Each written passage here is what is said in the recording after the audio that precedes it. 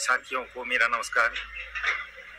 साथियों, जैसा कि मैंने आप लोगों से आह्वान किया था कि 18 तारीख को आप लोगों को दिल्ली आना है।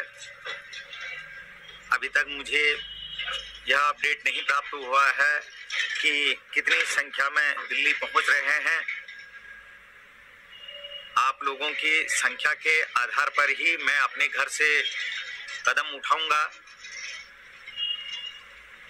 और दूसरी बात कि आप लोग इस बात को भली भांति समझ लें, जान लें कि हमको दिल्ली क्यों जाना है, क्या हमको धरना प्रदर्शन करना है।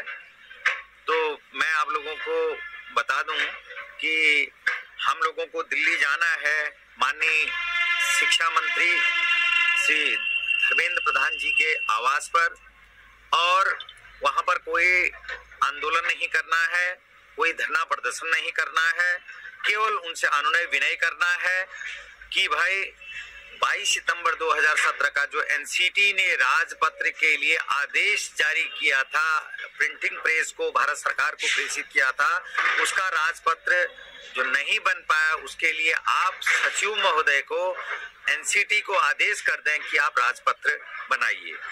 हम देखते हैं मुझे विश्वास है कि माननीय शिक्षा मंत्री जी, धर्मेंद्र प्रधान जी, हम लोगों की पीड़ा का संज्ञान लेंगे और अविलंब इस कार्रवाई को सुनिश्चित करेंगे, राजपत्र जारी करवाने के लिए अधिकारियों को आदेश देंगे।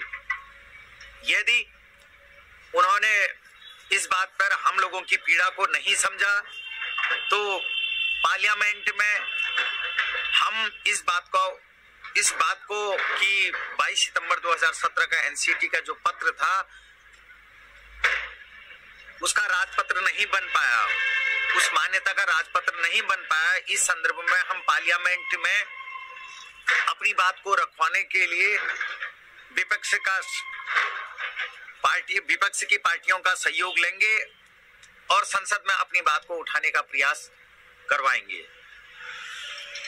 और दिल्ली आकर के हमको अपना प्रिंट मीडिया इलेक्ट्रॉनिक मीडिया जिस प्रकार से हो, अपनी बात को मुखर करना है, यही हमारा उद्देश्य है। आंदोलन, धरना प्रदर्शन और प्रशासन से उलझना या प्रशासन के जो रूल रेगुलेशन है, उनके विरुद्ध कार्य करना, ये हम एनआईएस परिवार का कतई भी उद्देश्य नहीं है। तो आप लोगों से भी मैं यही निवेदन करूँगा कि आप आइए और अपनी बात को सर्वप्रथम हमको अपने जो केंद्रीय शिक्षा मंत्री हैं धर्मेंद्र प्रधान जी, उनके समक्ष ये बात रखनी है। हम रखेंगे, अधिक से अधिक संख्या में वहाँ पर आएँगे। यदि आप लोगों की अच्छी संख्या आ जाती है, डेढ़ हज़ार की लगभग संख्या आ जाती है तो मैं अपने घर से कदम उठाऊँगा। अन्यथा की स्थिति में, जैसा कि पूर्व में मैं इंतज़ार आप लोगों का कर रहा था, आप लोग नहीं आए। यदि ऐसी स्थिति रही तो फिर मैं भी इसके लिए अपने घर में ही विश्राम करूँगा। क्योंकि मैंने आप लोगों को इस बात से भली भांति सूचना प्रेषित कर दी है कि यह कार्य सबको अपना कार्य समझ करके ही घर से निकलना है। जिस व्यक्ति को ये लगे कि मेरा काम तो नहीं है, हम तो जॉब में हैं, हम सुरक्षित हैं।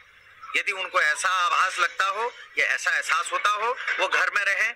जिस दिन उनको ऐसी दिक्कत, कानूनी कार्रवाई की आगे को गति बढ़ने लग जाएगी या उनको कानूनी कार्रवाई की अंदेशा लगेगा यदि उस दिन वो आना चाहे, उस दिन आ सकते हैं।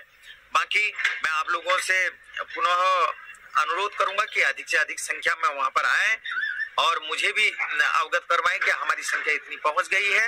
यदि मुझे लगा कि इस बार वास्तव में आप मेरे साथ कोई छलावा नहीं कर रहे हैं, सभी एनआईएस वाले वहाँ पर आ रहे हैं अधिक संख्या में तो निश्चित तौर पर मैं भी प्रयास करूँगा, मैं आऊँ। बशर्ते जब आपकी संख्या वहाँ पर उपस्थित होगी तो।